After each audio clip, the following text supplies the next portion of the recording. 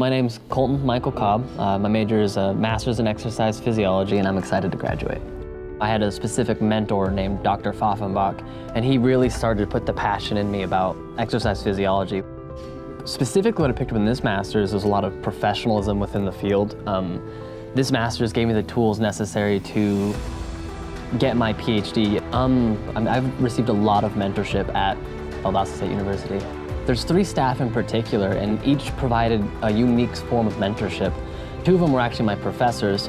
Uh, one taught me, you know, how to function professionally within the field, how to interview, what to say, those types of things. In particular, Dr. Greaves took a personal investment into each and every one of us as a student. Once they see that you're personally invested in what you're doing, they will put the time into you, and that's how you get connections. So if they believe in you, it's a, it's, it's a tool and a friend that you can never ask for anywhere else.